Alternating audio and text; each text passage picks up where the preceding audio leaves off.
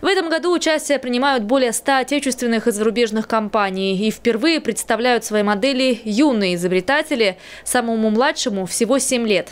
На форум они привезли собственные разработки, макеты подводных лодок, батискафов и гидросамолетов. За такими молодыми конструкторами будущее науки, самолеты и кораблестроение, уверенный министр промышленности и глава региона.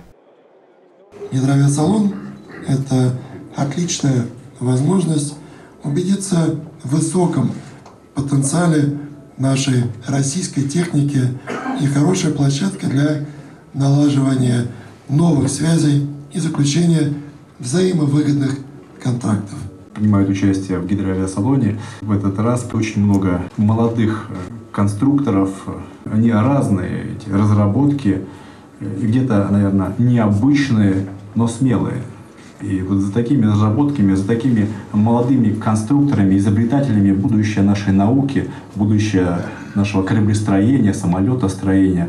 И очень важно, чтобы вот эти разработки не остались только мечтами и макетами. Очень важно, чтобы они притворились в жизнь.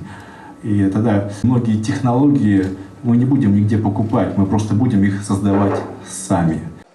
После торжественной церемонии Денис Мантуров и Вениамин Кондратьев осмотрели экспозицию. В этом году ее расширили, чтобы показать больше техники.